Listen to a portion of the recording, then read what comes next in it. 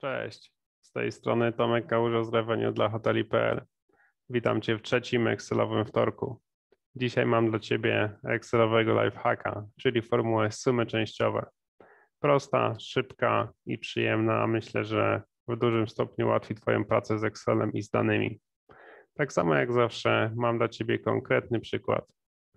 Przejdźmy zatem do naszego zadania. Polega ono na tym, aby w tabeli obok pokazać te rezerwacje, które zostały dokonane tylko i wyłącznie w kanale Booking.com, a następnie dla tych rezerwacji policzyć ich całkowitą wartość. Możemy zatem przejść do naszej tabeli z danymi. Zastosujmy formułę suma i sumujmy wartość wszystkich rezerwacji podaną w ostatniej kolumnie. Zobaczmy, że wartość tych rezerwacji to 23 352 zł.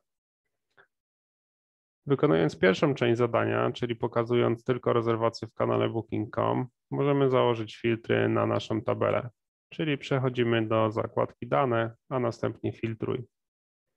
W kolumnie kanał pokażemy tylko te rezerwacje dokonane w kanale Booking.com.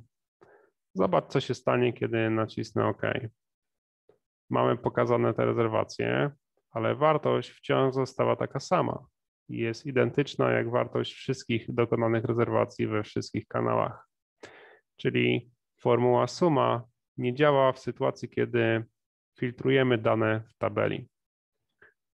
Cofniemy sobie filtry, tą formułę sobie usuniemy i zastąpimy ją właśnie formułą sumy częściowe.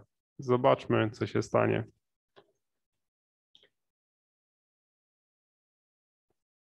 Ta formuła w pierwszym argumencie wymaga od nas podania tego, co chcemy robić.